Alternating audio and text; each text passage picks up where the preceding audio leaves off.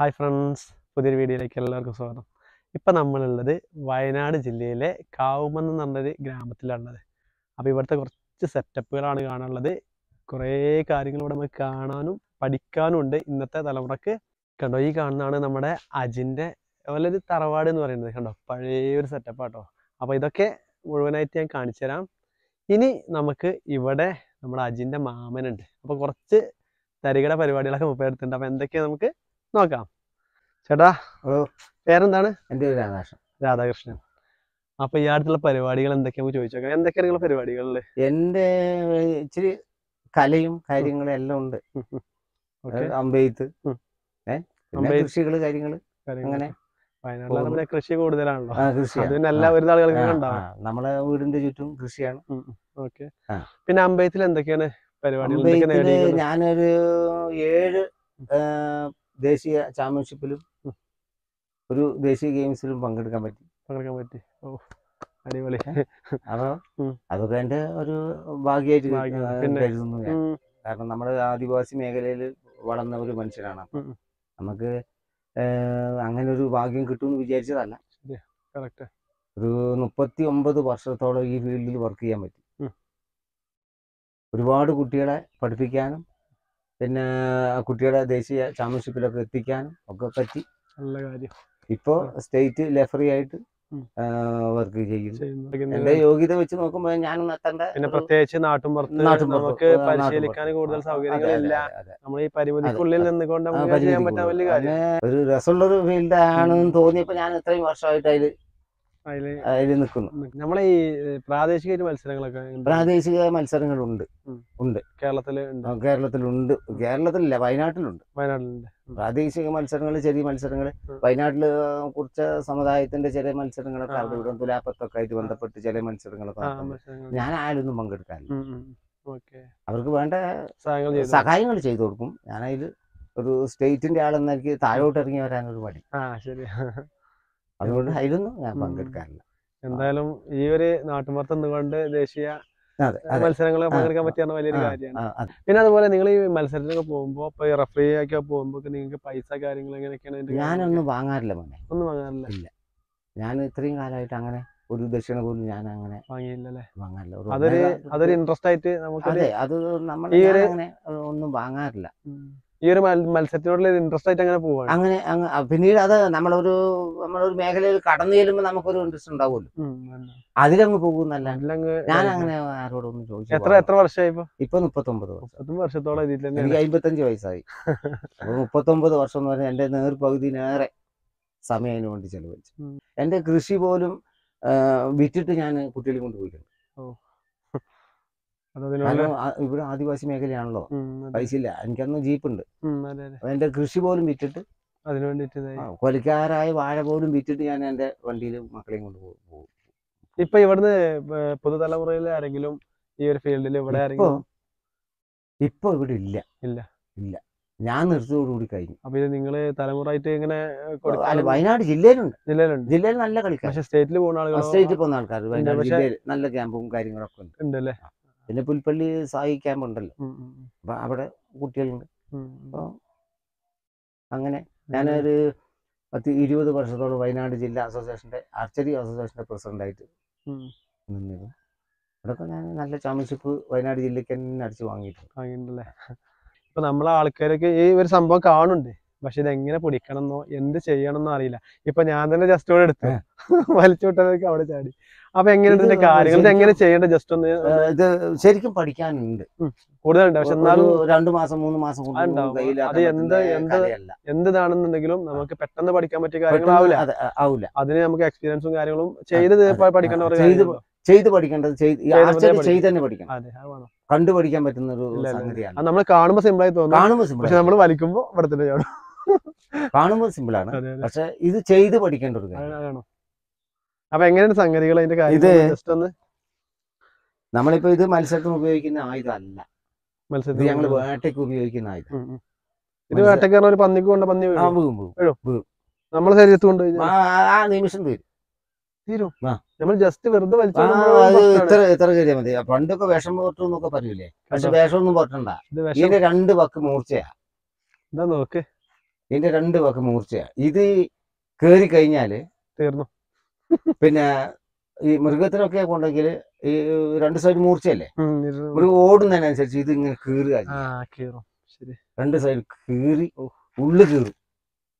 പിന്നെ അതുപോലെ ഇത് ഉള്ളോട് കയറിയ വലിച്ചെടുക്കുമ്പോ അതിലേറെ വേദന. അതിലേറെ അത് അതാണ് ഇത് ഇതിപ്പോ നമ്മൾ ഇവിടെ സാധാരണ എവിടെയെങ്കിലും നമ്മൾ പിന്നെ എവിടെ ടൂറിസം കേന്ദ്രത്തിൽ പോയി കഴിഞ്ഞാൽ ഈ ഒരു സംഭവം കണ്ടിട്ടില്ല. ജസ്റ്റ് ഒരു കൂർപ്പുള്ള കൂർപ്പുള്ള. അത് മാത്രമേ കണ്ടുള്ളൂ. പക്ഷെ ഇത് അതിപ്പോ നിങ്ങൾ നിർമ്മാണത്തിന് മുകളിൽ കാണാലോ? ഇത് ലെവൽ ലെവൽ പറയാം ലെവൽ വേറെയാണ്. ഇത് വെറുതെ പോലെ നമ്മൾ വലിച്ചു വിടുമ്പോഴേ ചിലപ്പോ അത് ഇത് നമുക്ക് ഇതൊരു നമുക്ക് അമ്പയ്യാൻ അറിയുന്ന ഒരാൾക്ക് ഇതൊരു അഞ്ചാറെണ്ണം ഉണ്ടെങ്കിൽ ആ വീട്ടിലേക്ക് പിന്നെ ആരും കയറുന്നു. നിങ്ങൾക്ക് എന്നെ തല്ലണമെങ്കിൽ. എന്റെ അടുത്ത് വരണ്ടേ? പക്ഷെ എനിക്ക് നിങ്ങൾ അമ്പത് മീറ്റർ ദൂരം കിട്ടിയാൽ മതി. ഇത് ഒറ്റ പീസാണ്.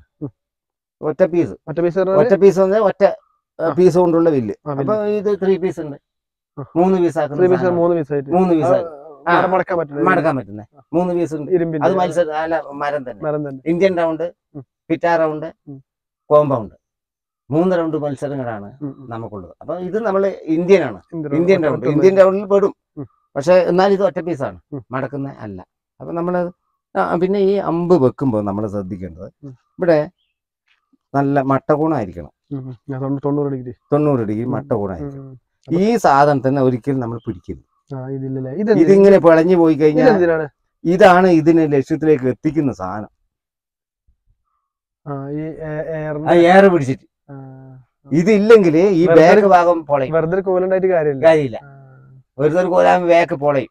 അപ്പൊ ഇതാണ് ലക്ഷ്യത്തിലേക്ക് അതിനു. വേണ്ടിയാണ് അതിന് അപ്പൊ ഇത് നമ്മളിങ്ങനെ പിടിച്ച് നാശാക്കാൻ പാടില്ല. അതിന് തൊടാനേ പാടില്ല. അതിന് തൊടാൻ പാടില്ല. നമ്മൾ പിടിക്കുമ്പോഴാ ഉം. ഈ വര.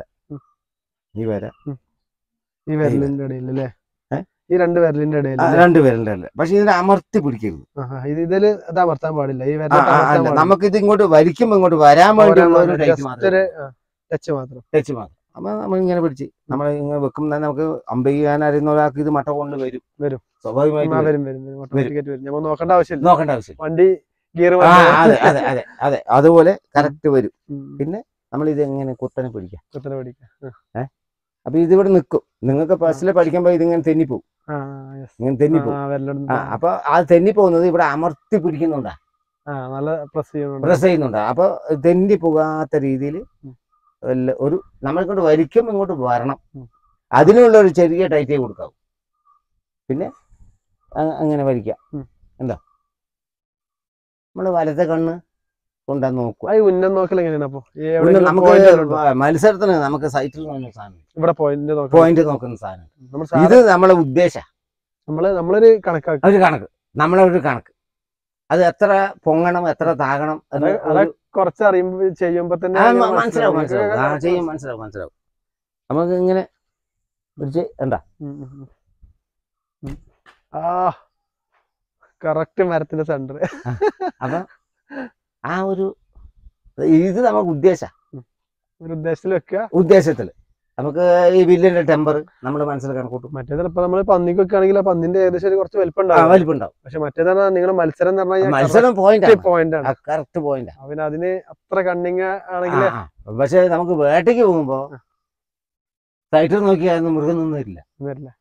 ആ മൃഗം ഓടുന്ന നായ്ക്ക് ഒരു മണം മുമ്പേ. അപ്പൊ അതിനനുസരിച്ച് ചെയ്യേണ്ടി അതിനനുസരിച്ച് നമ്മൾ ചെയ്യും ഓക്കെ?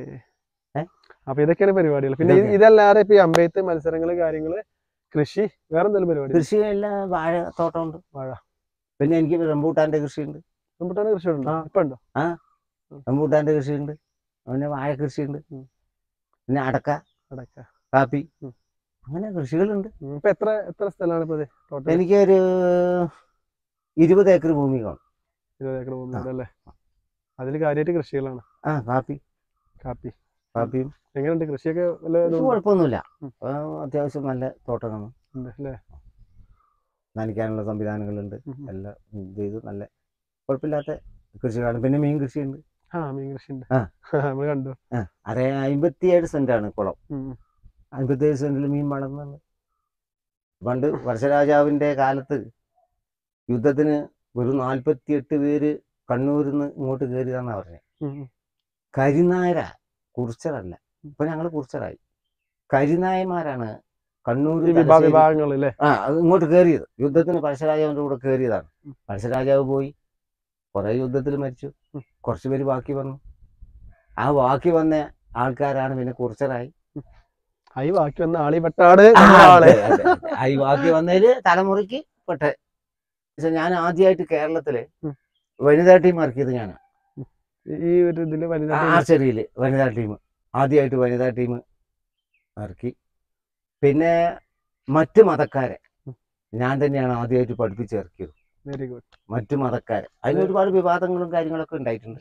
ആരാ എന്താന്ന് ഞാൻ പറയില്ല. ഒരുപാട് വിവാദങ്ങളൊക്കെ മറ്റു മതക്കാരെ പഠിപ്പിക്കുന്നു എന്റെ പേരിൽ നമ്മുടെ പാരമ്പര്യമായ ഒരു കലയാണ് അത് നിങ്ങൾ ഈ നിങ്ങളെ ഒരു പിന്നെ പിന്നെ സമുദായത്തിനുള്ളിൽ നിന്ന് പുറത്തേക്ക് ഇറക്കിയത് നിങ്ങൾ പുറത്തേക്ക് ഇറക്കി. നല്ലൊരു കാര്യം. പുറത്തേക്ക് എന്നുവെച്ചാൽ കുറെ കാര്യങ്ങൾ ഇതൊക്കെ പറഞ്ഞാൽ ഒരു കലയാണ്. കേരളത്തിൽ പുറത്തേക്ക് ഇറക്കിയത് ഞാൻ അത് എന്നെ സഹായിച്ചത് ഞാൻ നേരത്തെ പറഞ്ഞ കെ പി മോഹൻദാസ് സാറാണ്. പുറത്തേക്ക് ഇറക്കാൻ എന്നെ സഹായിച്ചത്. സാധിച്ചത്. സാർ ഇപ്പോഴും ഉണ്ട്.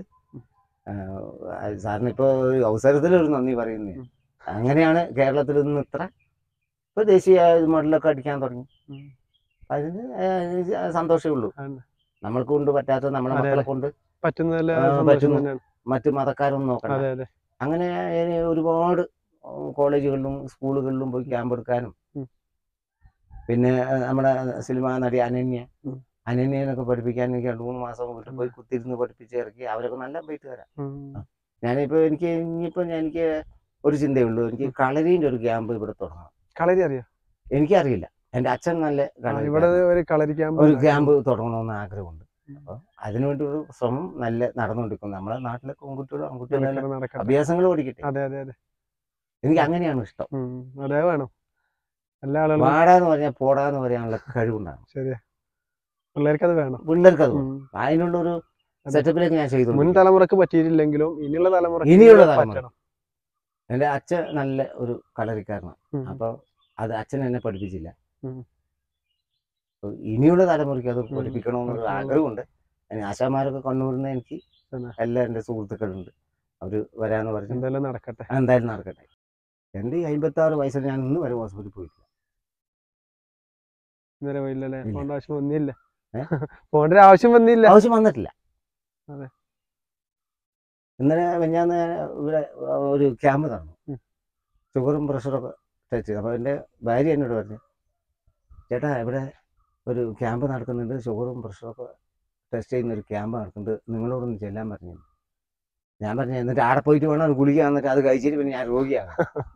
അല്ല നമ്മൾ കൊറേ ആവശ്യമില്ലാതെ ഗുളികൾ കഴിക്കുന്നുണ്ട്. ആ അതിരി. ഞാൻ പറഞ്ഞു എന്നിട്ട് ആടെ പോയിട്ട് ഗുളിക കഴിക്കുമ്പോ എന്തെങ്കിലും ഒന്നും കാണുമല്ലോ? ഒരു അസുഖം കാണും. അതിനും ഗുളിക തരും. ഞാനത് കഴിക്കും. അതോടുകൂടി ഞാൻ രോഗിയായി. പിന്നെ അതുകൊണ്ട് വേറെ അസുഖങ്ങൾ വരാം. അവർ ആ, ഞാൻ പിന്നെ പോയി പണി നോക്കാൻ പറഞ്ഞു. നിങ്ങളുടെ ഈ ഈ നാട്ടിൻപുറത്ത് ഇങ്ങനെ ഈ വയനാട്ടിലെ ഇങ്ങനത്തെ സ്ഥലങ്ങളിൽ ജീവിക്കുന്ന ആളുകൾക്ക് പൊതുവേ രോഗങ്ങൾ കുറവാണ് വന്നാൽ കൊണ്ടേ പോകും ആ അതെ അതെ. എന്തായാലും പോണം. എന്തായാലും പോകും വന്നാ കൊണ്ടേ പോകും വരുന്നത് വരെ നമ്മൾ വരാതിരിക്കാൻ ശ്രദ്ധിക്കുക. ശ്രദ്ധിക്കും പിന്നെ സുഖാണ്. നല്ല നാടൻ രീതിയിൽ നല്ല നാടൻ രീതിയിലെ ഭക്ഷണം. ഭക്ഷണം ആരോഗ്യം നല്ല ആരോഗ്യം ഒരു കുഴപ്പമില്ല അപ്പൊ ഇത്രയൊക്കെയാണ് നിങ്ങളെ പരിപാടികൾ എന്ന് പറയുന്നത്. അപ്പൊ എന്തായാലും നിങ്ങളുടെ ബാക്കിയുള്ള എല്ലാ കാര്യങ്ങളും സാധിക്കട്ടെ. അപ്പൊ വീണ്ടും കാണാം. ഭാവിയിൽ നിങ്ങൾക്ക് ഒരു നല്ല നിലയ്ക്ക് നിങ്ങളും എത്തട്ടെ. ഓക്കെ.